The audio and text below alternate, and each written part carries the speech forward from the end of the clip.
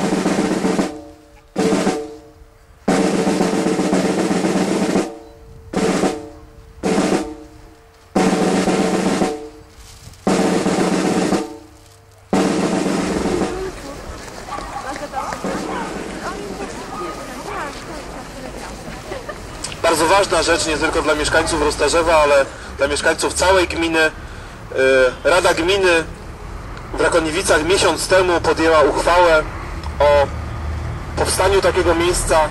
Uchwała ma przepiękny numer 100, to jest setna uchwała w tej kadencji. W hołdzie Zenonowi Zającowi i poległym górnikom kopalni węgla kamiennego Wujek, mieszkańcy gminy Rakoniewice, 10 grudnia 2011 roku. Szanowni Państwo, mam nadzieję, że będzie to nie tylko miejsce pamięci, ale również miejsce wypoczynku i refleksji, a przejeżdżający tutaj i przechodzący będą pamiętali o tamtych tragicznych wydarzeniach. będą pamiętali o dziewięciu górnikach, którzy ponieśli śmierć w kopalni Wujek, będą pamiętali o mieszkańcu naszej gminy, Zenonie Zającu, jedynym wielkopolaninie, który wtedy również poniósł śmierć. Bardzo dziękuję. Mam nadzieję, że wszyscy mieszkańcy Roztarzewa i całej gminy, gminy będą dbali o to miejsce, będą szanowali to miejsce i będą się w tym miejscu odpowiednio zachowywali. Zapraszam Państwa, myślę, że również w imieniu Pani Dyrektor, do budynku szkoły, gdzie będzie dalsza część uroczystości. Bardzo dziękuję.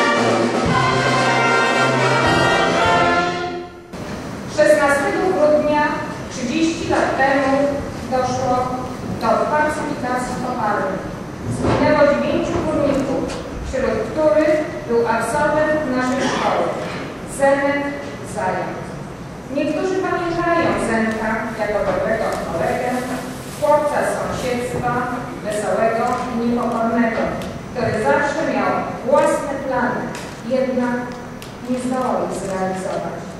Dzisiejsza lekcja historii, którą przygotowała młodzież naszej szkoły, pozwoli pozwoli nam jeszcze raz zastanowić się nad tym, do czego może prowadzić brak demokracji. Pozostaje tylko jedno pytanie, na które nikt nie potrafi jeszcze odpowiedzieć. Dlaczego? Wspominając dziś Zenona Zająca oddają hołd wszystkim ofiarom stanu wojennego.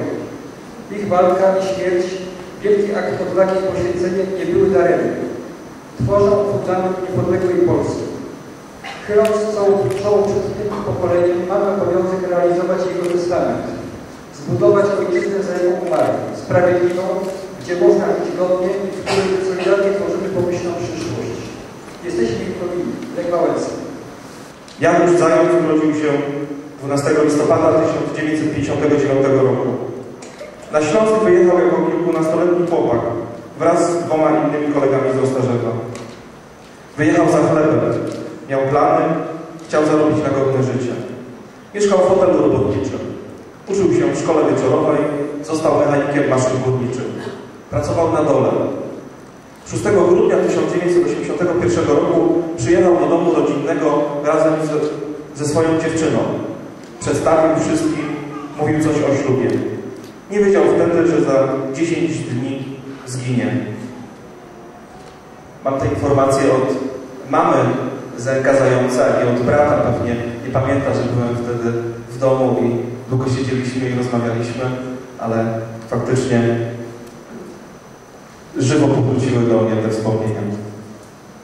Trumna bohatera przykryta była czarno-zieloną flagą kopalni. Na niej postawiono górniczą czapkę z charakterystycznym pióropuszem. Ci, którzy pamiętają pogrzeb, porównują go tylko z pochówkiem księdza Jerzego Popiełuszki. Ta atmosfera unosząca się w powietrzu. Obawa. Przed czym? Na trasie produktu żałobnego nieznane twarze. To funkcjonariusze służby bezpieczeństwa fotografowali uczestników pogrzebu. Liczyli, ile osób brało udział w pogrzebie górnika, który oddał życie za, ojczyźnie, za ojczyznę. Yy, miałby dzisiaj 52 lat. Był człowiekiem, który moglibyśmy z nim porozmawiać, moglibyśmy z nim również cieszyć się tej wolności, które na dzień dzisiejszy właśnie możemy wszyscy tutaj się cieszyć. Oczywiście dzięki ruchu Solidarności, które doprowadziło właśnie do tak zwanej demokracji, której na dzień dzisiejszy możemy wszyscy się cieszyć. W związku z tym chciałem złożyć najserdeczniejsze życzenia oczywiście rodzinie. Również wiadomo, że jest to wielkie smutek z okazji właśnie 30 rocznicy śmierci takiego młodego człowieka, ale jednocześnie radość należy skierować właśnie do wszystkich z nas z uwagi na to, że możemy być do dzień dzisiejszy żyć w kraju, gdzie demokracja panuje. Jest szansa również na to, żeby kraj mógł się rozwijać. Szanowni Państwo, ja chciałbym bardzo serdecznie podziękować Pani Dyrektor, gronu pedagogicznemu, także władzom miasta gminy Rakawice za to, że kultywują pamięć o Centrum Zającu, kultywują pamięć o tych dziewięciu górnikach, którzy 30 lat temu oddali swoje życie w kopalni bo jesteśmy im to winni, ale jesteśmy też winni młodzieży, młodym pokoleniom, jesteśmy winni naszemu krajowi to, żeby pamięć o nich nie zaginęła. Dziękuję bardzo. W tym tygodniu rozmawiałam z nauczycielem tej szkoły, panią Strałką. Chodziło mi, czy była świadkiem następnego spotkania, o którym wspomnę. Pani Strałka utkwił jeden moment z życia Zenka Zająca. Mianowicie pogrzeb, w którym uczestniczyła. Tak jak Pan Burmistrz wspomniał, na trumnie była czapka. W momencie składania zwłok ktoś nieznajomy, chwycił tą czapkę, zdjął z i przekazał matce, pani Zając, która tuliła tą czapkę. Tak my tulimy teraz pamięć o Zenku Zającu. Młodzieżowa Orkiestra Tenda zagra teraz hymn górniczy. Proszę powstać.